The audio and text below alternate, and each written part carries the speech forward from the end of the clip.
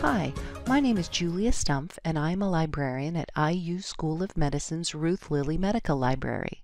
This is the first video in the EBM Topics Diagnosis series. In this video, we introduce the concept of diagnosis and the diagnostic process. Essentially, a diagnosis is a decision you make as a clinician. Diagnosis is the process of using history, physical examination, and investigations to identify the disease responsible for the patient's complaint. This process ends up with a decision that varies between starting treatment, asking for more investigations, or to ignoring the condition completely. These decisions are taken based on the probabilities of the presence or absence of various diseases and disorders, which are usually calculated at a subconscious level.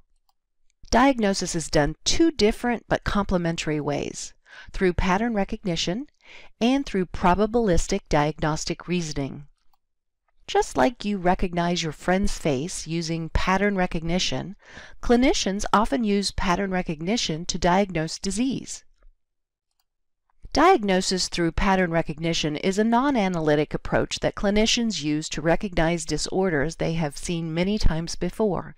After physical examination, the clinician determines that the probability the patient has the disorder is near 100%.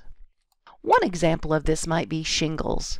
A physician has likely seen the presentation of shingles many times before, and diagnosing the condition takes little to no analysis in order to be nearly 100% certain. Probabilistic diagnostic reasoning, on the other hand, is used when simple pattern recognition fails.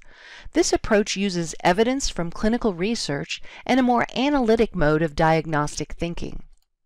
Take, for instance, acute lymphoblastic leukemia or acute myeloid leukemia in childhood.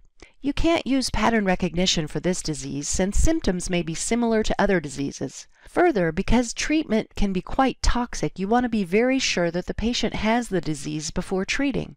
We will spend the rest of this video series focusing on probabilistic diagnostic reasoning. Many clinicians might use this form of diagnostic reasoning implicitly. We hope this video series will help make using probabilistic diagnostic reasoning more explicit.